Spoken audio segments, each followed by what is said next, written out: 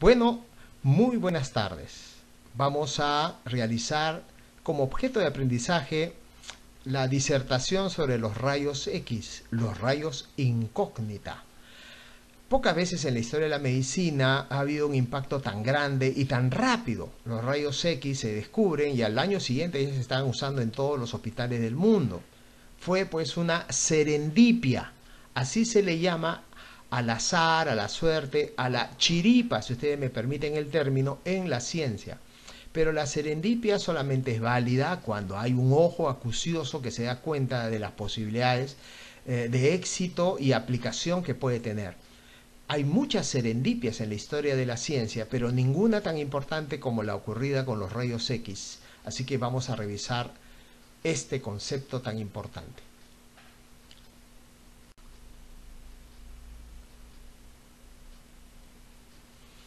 En la última década del siglo XIX y en las tres primeras décadas del siglo XX, en esos 40 años, 30 o 40 años, hubieron descubrimientos descomunales y no ha habido una etapa en la historia de la humanidad con tantos científicos de renombre trabajando casi simultáneamente.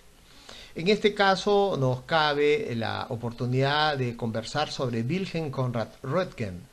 Él llamó a su descubrimiento los rayos X porque X es la letra que se utiliza en el álgebra para la incógnita, debido a que él no sabía qué cosa era. Él había descubierto la radiación de manera artificial, la radiación que ocurre en un aparato creado por el hombre, pero no sabía que, era pues un material radioactivo, ¿no?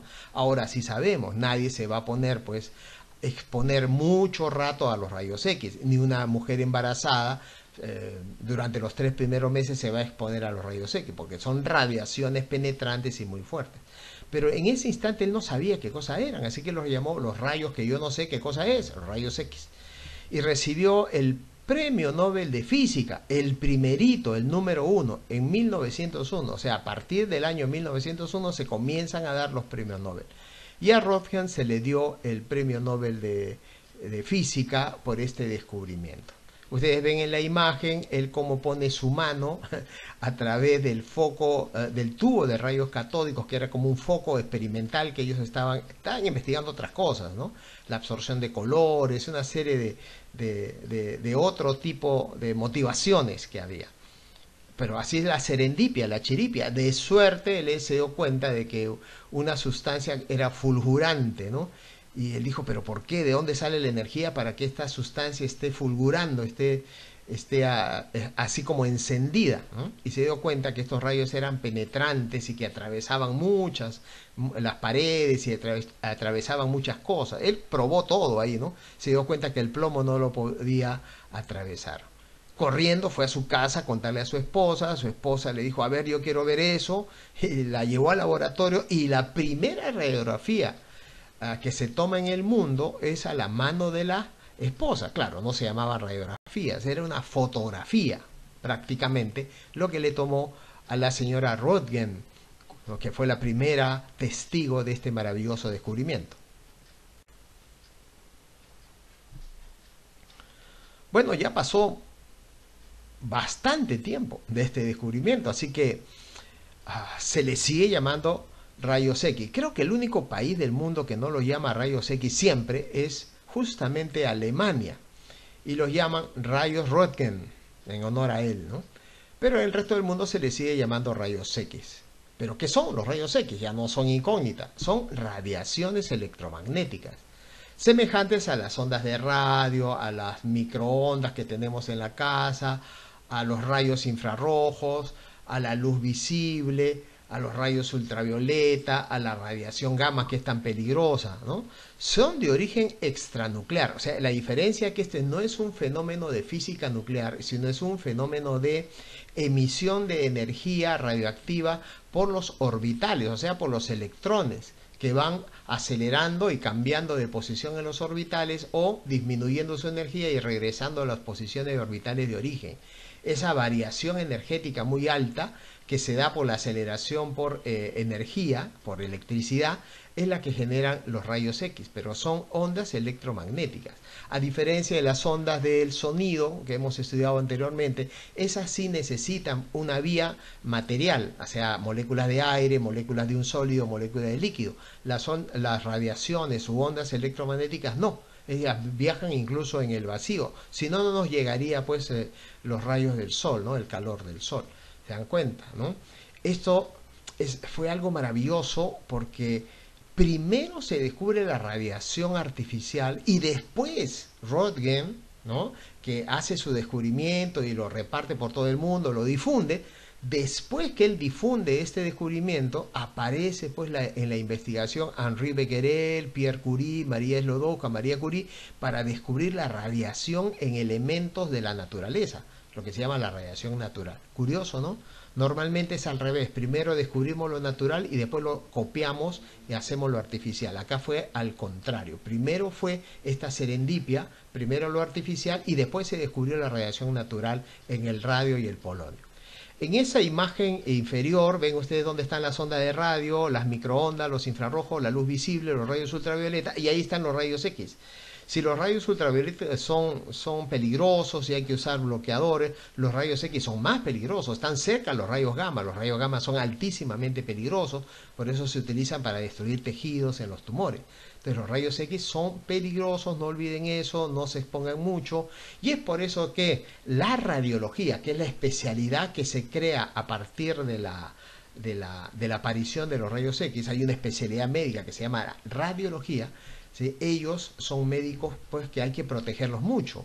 Por eso que ustedes cuando van al hospital ven a unos médicos que tienen un dosímetro, que es una especie de, eh, de cajita que tienen en su traje, de color rojo generalmente, donde están midiéndose la radiación que están acumulando. Llegado un momento, ellos se van midiendo eso una vez al mes, una vez cada dos meses. Cuando llega un tope, ya no pueden entrar al lugar donde se hacen rayos X. Ya tienen que hacer otro tipo de trabajo, porque es muy peligroso, se dan cuenta, ¿no? Además, los médicos radiólogos, que así se llaman estos especialistas, eh, tienen, a diferencia del resto de los mortales en la Tierra, unas vacaciones que no son de un mes, sino son de casi dos meses. Eh, o sea, cada seis meses tienen vacaciones ellos de prácticamente 25 días o un mes eh, por la exposición al peligro que tiene de, de los rayos X, ¿no? de las radiaciones artificiales.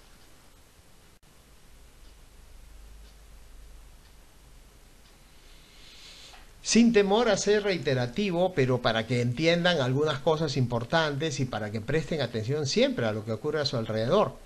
Los rayos X se descubren de suerte. ¿sí? A esto eh, se le llama suerte dirigida por la inteligencia o suerte aprendida y observada. Y el término que se le atribuye es serendipia, la serendipia. Eso fue una serendipia. En realidad, Röntgen está investigando otra cosa, utilizaba los tubos de rayos catódicos. Hemos tenido tubos de rayos catódicos, todos los que hemos tenido esos televisores que le llaman los cabezones, esos televisores grandazos. Felizmente ahora ya cambió la tecnología y tenemos otro tipo de televisores. Eh, estos eh, televisores grandazos antiguos, cuando eran en blanco y negro, tenían mm, tubos de rayos catódicos un poco peligrosos.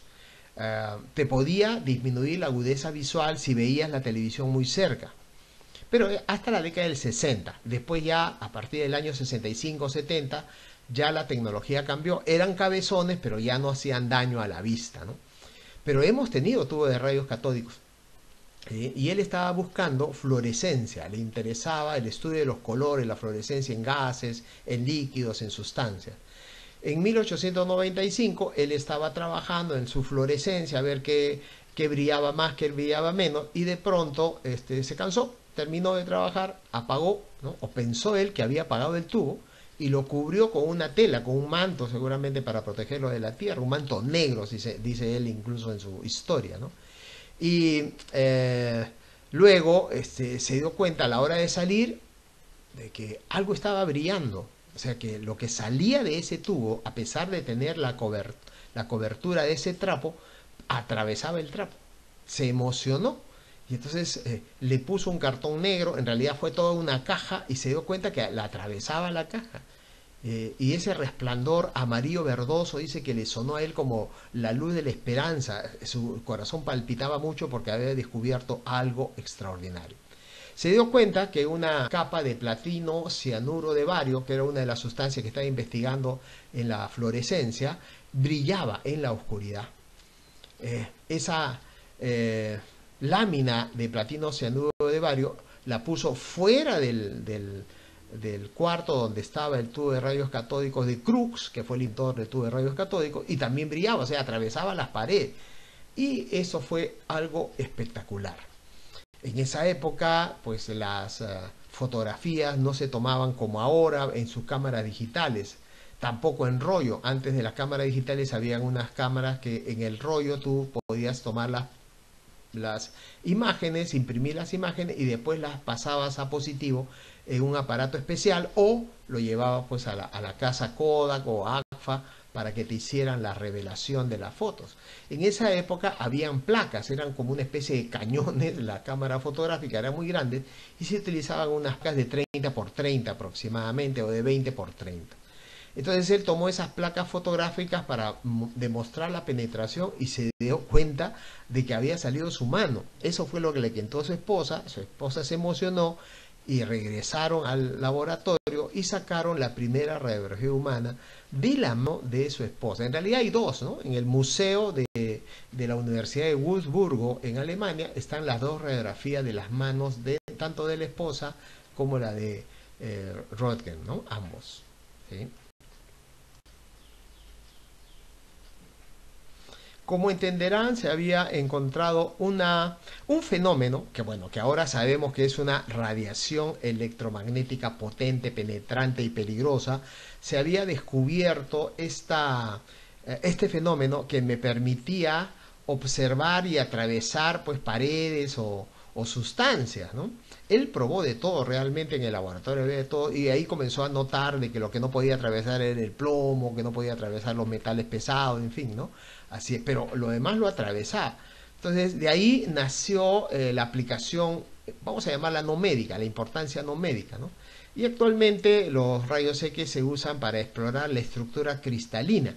Los cristales son muy importantes, son especiales. Cuando se cristaliza algo, puede ser un diamante, que son los cristales más caros que hay, este, la ubicación de la posición de los átomos de carbono en el cristal, que es un fenómeno físico totalmente la cristalización, es carbono, el mismo carbón de la parrilla, solamente que a diferente presión nada más, y ese es el diamante.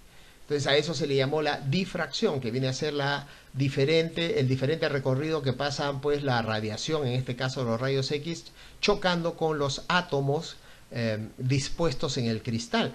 Bueno, esa difracción la exploración de la materia cristalina es como, lo, eh, como las huellas digitales. Los diamantes que se fabrican especialmente para las joyas pasan por un examen de difracción y lo quedan registrados. O sea, no hay dos diamantes que puedan tener una difracción igual y por eso sirve como seguridad para cuando se roban los diamantes. ¿no? Luego em, sirve para detectar efectos o defectos estructurales en las tuberías, las turbinas, los motores, las paredes, las vigas. Se usa mucho, por ejemplo, en los hornos para, para fundir el acero. Entonces se ponen pequeñas estructuras eh, y les pasan rayos X y esas estructuras si se caen significa que se ha perforado esa parte de la pared del, del horno donde se está fundiendo el acero y, entonces se para ese horno porque se ha menoscabado el material y se repare solamente ese horno. Eso es importantísimo, si no tiene que parar toda la planta con la consecuente pérdida de dinero. O sea, sirve para chequear defectos de estructuras. Y también, obviamente, todos los que hemos viajado alguna vez en los aeropuertos, pues eh, después del, eh, del 11 de septiembre y de, los terroristas y todo esto, bueno, pues te hacen pasar todas tus cosas por los detectores de seguridad que vienen a ser máquinas de rayos X que observan todo lo que tú estás llevando.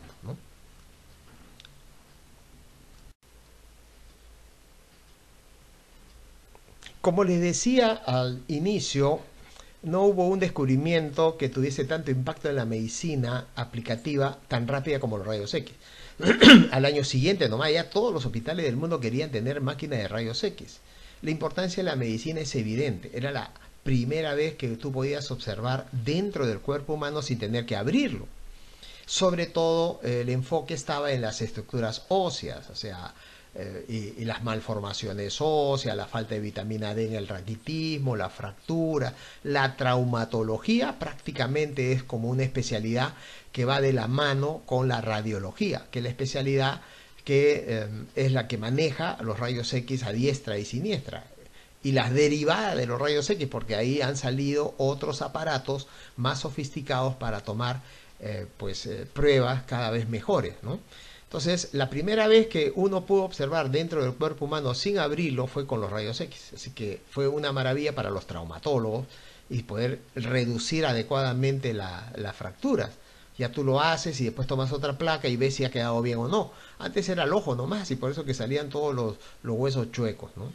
Aparece la radiología. Eh, ustedes, estudiantes de medicina, van a llevar un curso especial, bueno, no un curso, varios cursos de radiología.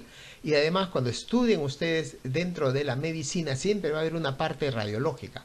vamos a estudiar el aparato respiratorio, vamos a estudiar medicina 1, neumología. Estas son las enfermedades. Vamos a hacer el diagnóstico de tuberculosis por radiología. O sea, vemos radiografías, pero a montones, una gran cantidad de, de radiografías tenemos que saber cómo se ve una radiografía de pulmones, una radiografía de huesos, una radiografía de estómago, en fin. Es una ayuda diagnóstica extraordinaria. Además, con el avance de la tecnología y los años que tiene, es muy barata, se ha hecho muy cómoda, ¿no? Entonces es, adecuado. Se puede tomar fotos radiográficas, o sea, el fotoröntgen, así se le llama, que, que vienen a ser radiografías pequeñitas que sirven para hacer el despistaje, ¿no? De esa manera uno puede hacer despistaje a mucha gente sin tener que exponerlos a mucha radiación, ¿sí?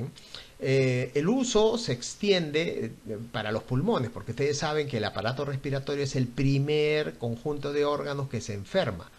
Así que la extensión natural fue no solamente ver huesos, sino también ver pulmones. Entonces hay una radiología pulmonar. Sirve para diagnosticar enfermedades pulmonares. Luego, eh, cuando Rodgen estudia, se da cuenta de que los rayos X no pueden atravesar el plomo, no pueden atravesar metales pesados. Entonces a alguien se le ocurrió crear brebajes, o sea, eh, como jarabes, como sustancias con metales pesados y comenzar a tomarlos y de esa manera tomar radiografías seriadas como una película de rayos X y ver cómo va pasando esa sustancia por el tubo digestivo. Y así aparecen los estudios en tiempo real, ¿no? Se llama tránsito gastrointestinal y tú ves todo, todo, todo lo que va pasando con un bolo alimenticio que está cargado con bario. Se utiliza el bario, que es un elemento pesado. Otros, más arriesgados, dijeron, bueno, vamos a colocar esto en agua destilada para crear una solución y meterla a la sangre.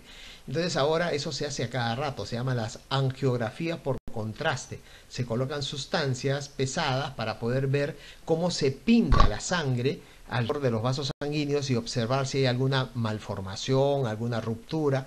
Muy útil, ¿no? La angiografía. Entonces, esos estudios se han ido cada vez sofisticando más y es por eso que la especialidad de la radiología es espectacular. Ahora se hacen incluso operaciones guiadas por rayos X, ¿no? Eso es algo maravilloso.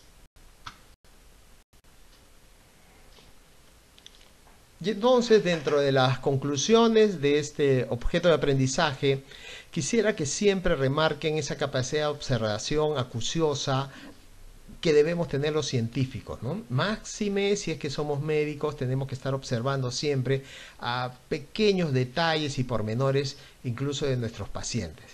Fíjense cómo de una serendipia, de prácticamente de algo que pudo haber pasado desapercibido, una mente lúcida, brillante y de mucha acuciosidad como la de Wilhelm Röntgen descubre esto que fue pues una maravilla en su momento y hasta ahora nos sigue llenando de muchas satisfacciones. El descubrimiento de los rayos X es uno de los hitos científicos eh, de mayor impacto en la medicina. Y fíjense que los tubos de rayos catódicos fueron diseñados para otra cosa. Ahí se descubrió el electrón, se estudió la, luz eléctrica, el impacto de los electrones, pero eran, pues, este, sencillamente eh, tubos formadores de energía electromagnética. No olvidar, eso sí, que los rayos X son energía, son ondas electromagnéticas que tienen gran poder de penetración y son peligrosas. Así que la radiología, si se van a dedicar a esa especialidad, es una especialidad que tiene sus riesgos. Claro, los cuidamos mucho a los radiólogos, que son médicos muy importantes, con los dosímetros para que no absorban mucha eh, radiación. Eh, tienen dos meses al año de vacaciones, tienen que hacer una alimentación especial, en fin, muchos cuidados. Pero, qué duda cabe, el costo y el beneficio son maravillosos, ¿no? O sea, dedicarnos a estudiar los rayos X, aplicarlos en la medicina, pues ayudamos a muchísima gente, porque la aplicación ya no solamente se da para los huesos, la traumatología depende de la radiología, sin duda alguna, sino también en el aparato digestivo, en el aparato cardiovascular, en el sistema nervioso y en todos los órganos en general de nuestro cuerpo humano. Así que vivan los rayos X por siempre. Nos vemos en la siguiente.